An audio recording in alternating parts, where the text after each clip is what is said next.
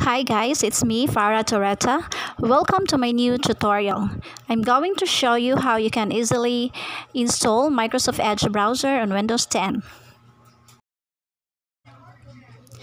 After announcing Chromium-based Edge in December 2018, Microsoft recently released the first stable version of the new Edge browser for Windows 10.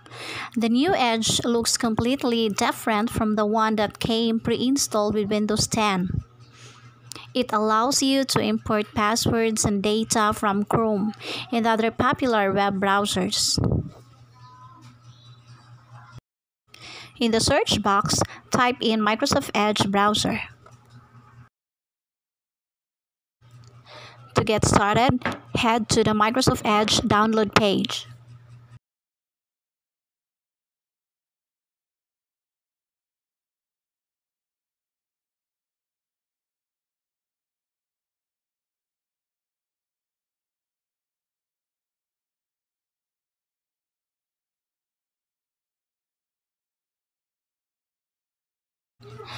Then click the download button or click the drop down to choose the OS you want to install.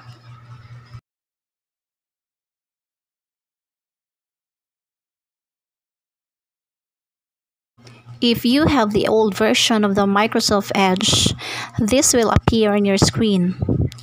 Then click Accept and download.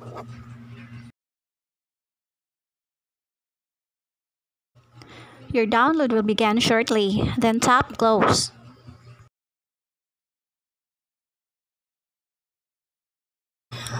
If it doesn't automatically launch, open the installation file in the Downloads folder and then tap through the installer screens to install Edge.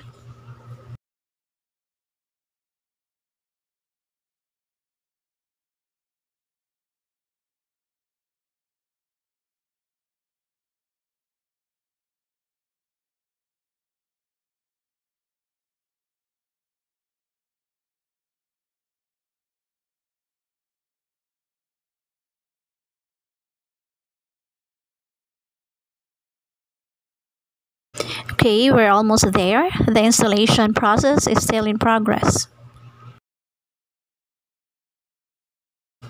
Once installed, Edge will automatically start up. If you already have the Chrome browser installed, Edge will ask if you want to import your bookmarks, autofill data, and history from Google's browser or start from scratch. If you decide to start from scratch, you can import your browser data later. Can also tap the Customize Import button at the bottom of the import window to bring in your data from Firefox. Welcome to the new Microsoft Edge. Now let's get started. If you have multiple devices running the new Edge, on the next screen, the browser will ask you if you want to sync your data across devices. I hope it can help. Thanks for watching. Don't forget to like, share, and subscribe to my channel.